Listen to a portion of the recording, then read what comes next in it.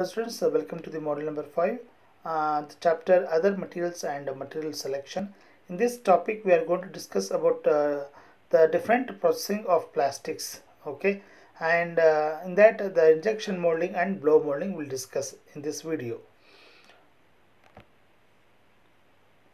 So uh, are you seeing this injection molding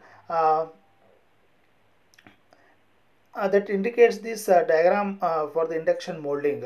Uh, this uh, injection molding in operation is a pre-calculated quantity of plastic material in the form of uh, uh, powder or granules that are going to be along with the necessary additives is fed into the hopper.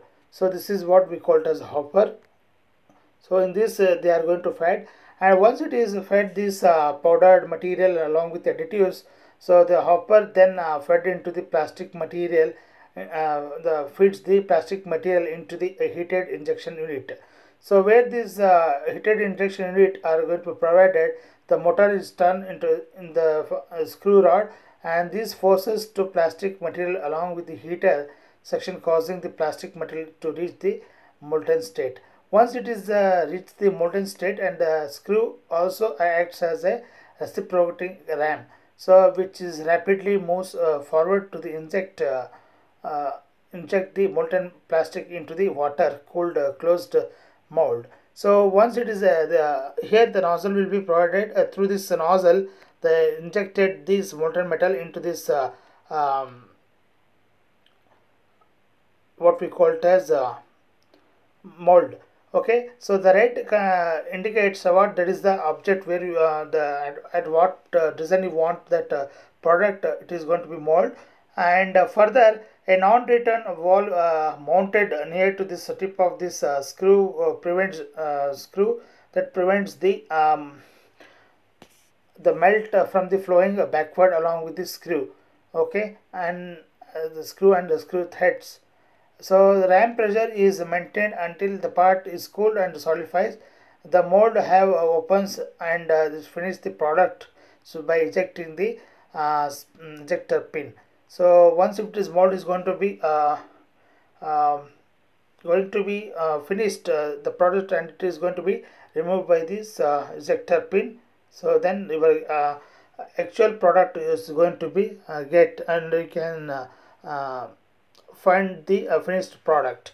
So this process how it is going to take place we can watch in this some video of this injection molding. Let us we have a look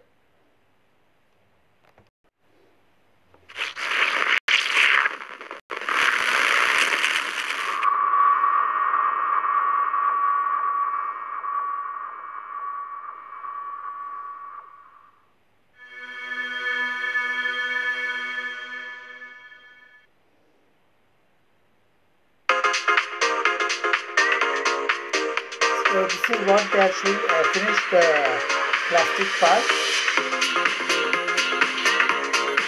and this is injection molding tool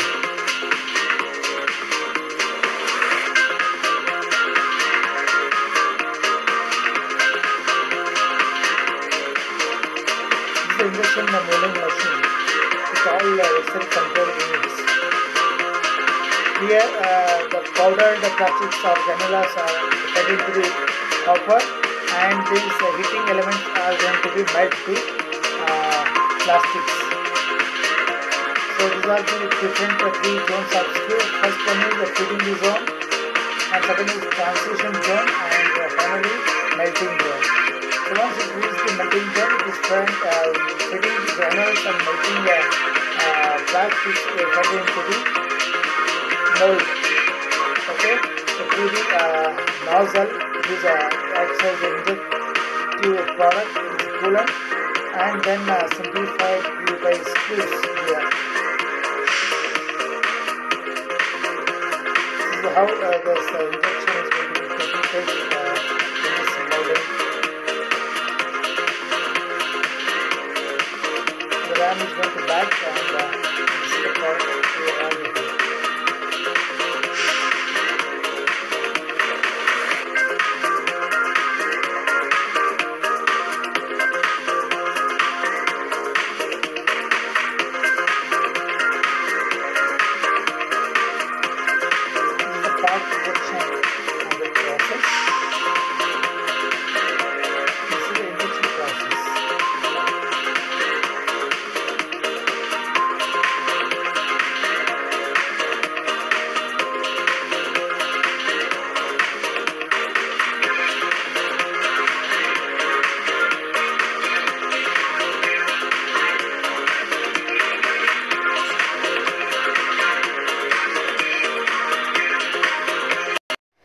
now uh, we are move on to the next uh, method uh, that is blowing method okay?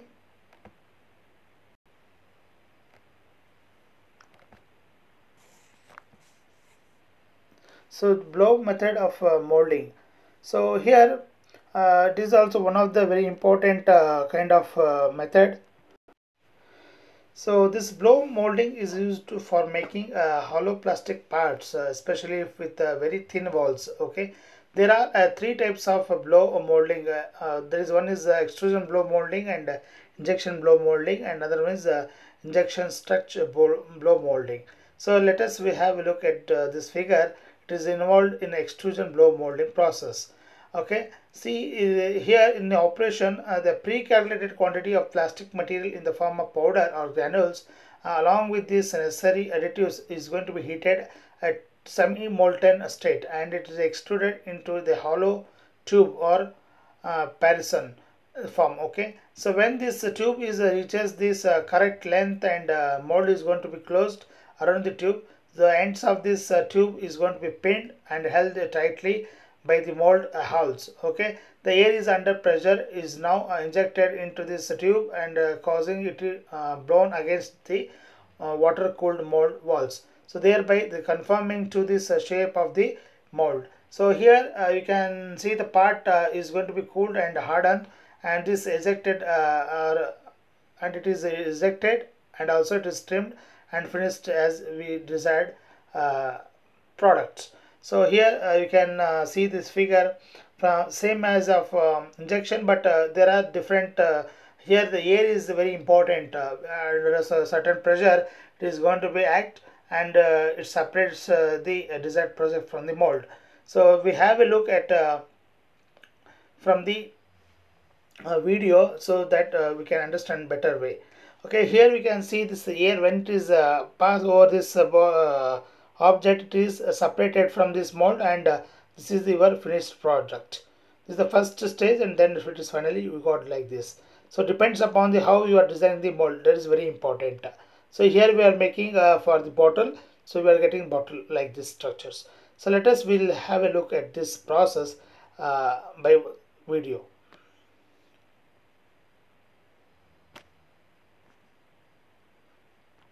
Products that are packaged in plastic, produced using blow molding technique. The plastic blow molding process is the most popular method used to produce hollow containers. Impact uses a variety of raw material during the blow molding process, depending on the container application and its expected performance. The raw material in granular form is fed via a hopper into the feed barrel, which is heated to help melt the granules and evenly disperse the colorant, called master batch. A molten tube of plastic, called a parison, is extruded from the machine head and cut with a hot blade. It is then captured by a water-cooled mold and a blowing nozzle is inserted into the parison. A blast of pressurized air is blown into the parison, forcing the hot plastic to take on the shape of the mold. This process is called blow molding.